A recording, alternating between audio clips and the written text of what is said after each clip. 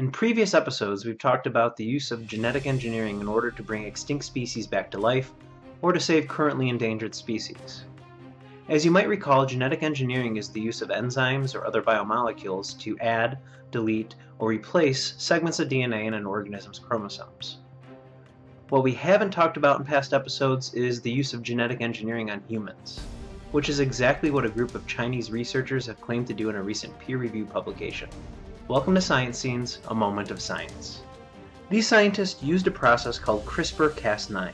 CRISPR-Cas9 has recently garnished a lot of excitement as an efficient and targeted genetic engineering technique. It involves the use of bacterial enzymes to target, cut, and replace segments of DNA.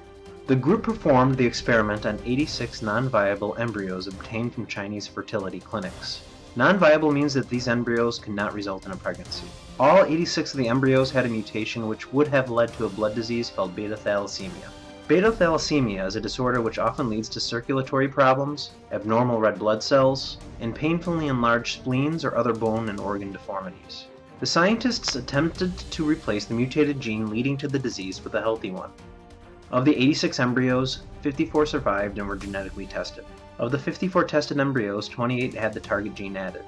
Most of the embryos with the added genes had major issues with this process. Only four of the embryos had the gene successfully replaced in the correct position. The rest had improper fragments added, or the gene was inserted into the wrong sequence. There were also a number of off-target mutations caused by the technique. This means the process scrambled the DNA in other areas. Overall, the research team and the scientific community concluded that the genetic engineering of human embryos is not yet ready for mass application. On one hand, in the future, we can use this to eliminate genetic disease. On the other, we could alter the genetics of a person to create cosmetic changes. Additionally, the current technology has to occur at the embryonic stage. This brings up all sorts of moral and ethical dilemmas.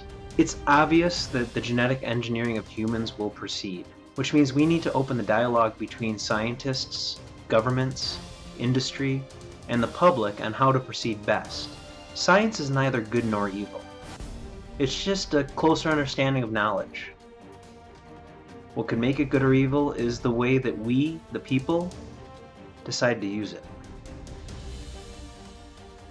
Thanks for watching this week's episode of Science Scenes. If you liked what you saw, please leave a comment and or a thumbs up. If you didn't like what you saw, give me a thumbs down and go ahead and leave me some constructive criticism in the comments. As always, it would help me out greatly if you click the button below to subscribe, so that I can keep creating more content, learning and growing as I go. Thanks as always for viewing, and I'll see you next time on Science Scenes.